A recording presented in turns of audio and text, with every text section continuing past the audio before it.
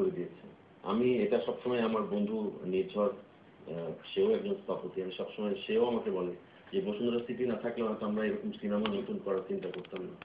তো আমাদের আসলে হচ্ছে আধুনিক জীবনে আমরা সবসময় যা যাচ্ছি সেটার সঙ্গে সঙ্গে এই ধরনের কিছু ইনস্ট্রুমেন্ট আমাদের জীবনে যুক্ত হচ্ছে যে ইনস্ট্রুমেন্টগুলো কিছু পজিটিভ দিক আছে।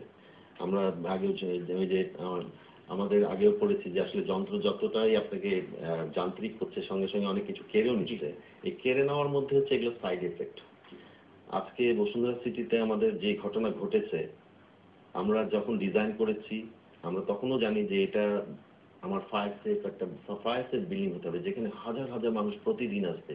এবং এর অধিকাংশ মানুষই হয়তো নতুন একজন অতিথি এই বিল্ডিং এ তো আমাকে কিন্তু খুব নিরাপদ ভাবে কোনো অগ্নি মানে কাণ্ড ঘটলে আমি যাতে তাকে ওখান থেকে যে কোনো ডিজাস্টার হলে যাতে আমরা তাড়াতাড়ি বিল্ডিং থেকে বের করে দিতে পারি, আগুন ধরলে সেটা নেভাতে পারি, সবাইকে জানাতে পারি, এই ধরনের যত আধুনিক ব্যবস্থা আছে, এই বিল্ডিং এ সবই আছে।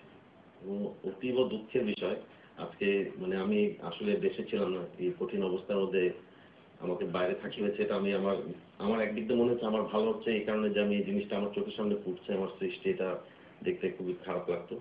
তো দুঃখের বিষয় হচ্ছে যে এত কিছু থাকার পরে আমরা এটা কেন ফাইট করতে পারলাম না? হ্যাঁ প্রশ্নটা আসলে তাই। আপনি যেটা বলছেন যে